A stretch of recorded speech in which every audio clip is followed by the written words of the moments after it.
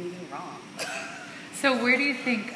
Because that's obviously not the case for for some people. Yeah. Um, so where do you think your influence is? Like, where did you learn this kind of ethical?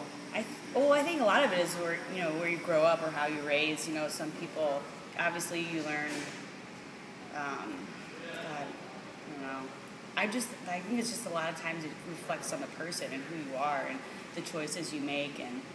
Um, I think that turns over into your professional career and how you handle, you know, situations. And um, I've always been, I just, I always want to do the right thing. I never want to do something that I feel that's gonna back, you know, I guess come back up or come back to haunt me or something. Or that's so, you know, it's always like my husband works at the chamber and someone just says just do do what you think is right. And that's that will take you know and that way everything will fall into place. That's what it really comes down to.